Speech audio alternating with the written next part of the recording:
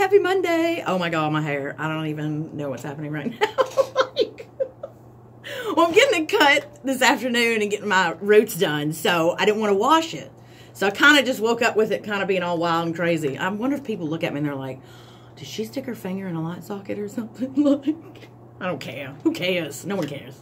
Um, it feels good to not care. Uh, kind of something clicked over the weekend for me, and I just, I'm really happy uh, about my situation, about finally getting moved out, and um, excited for what the future holds. And yeah, I just don't care. I'm just having fun, rolling with it. Do that today. I promise you, you'll feel 10 times better. Stop worrying. Here we go. Make sure I got it with me. Some happiness is, let's see, happiness is for Saturday and Sunday. Playing in a band. All right. I like the little pictures of the people, too. okay, let's see what's in store for us today. la la la la. Oh, and I gotta do a sponsor too.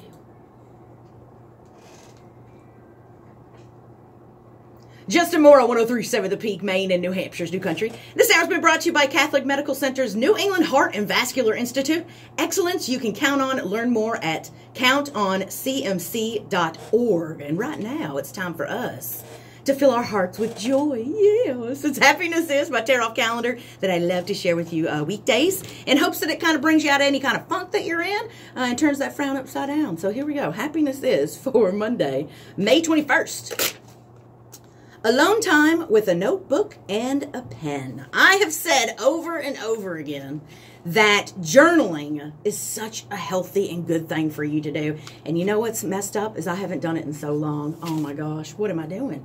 Um, it helps me to get stuff out of my head, gets it on paper, releases it, and um, you know it, it's just a very healthy and good thing to do for yourself. So go buy yourself a journal um, and get to writing because I'm telling you what, man, your life, life will change once you get all that those thoughts and stuff out of your head for sure. So happiness is alone time with a notebook and a note pen. On the way, Carrie Underwood, Jon Pardi, Jason Aldean on 1037 The Peak.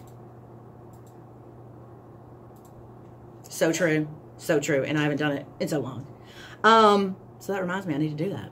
Have a great rest of your day, and I will see you back tomorrow. Bye.